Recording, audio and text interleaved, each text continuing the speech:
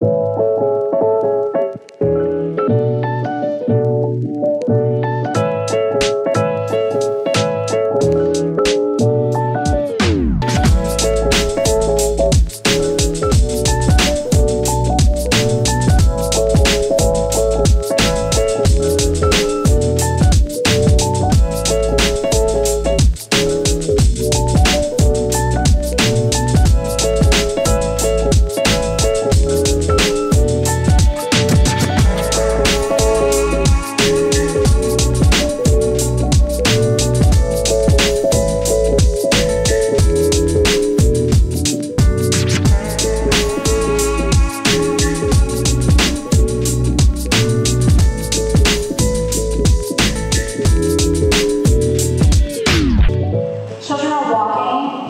told that they would never, ever walk.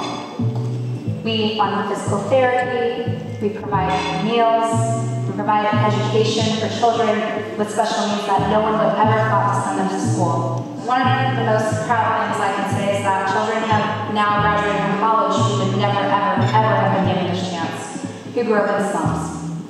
And without you, they would not have hope. Every single one of you is giving them hope.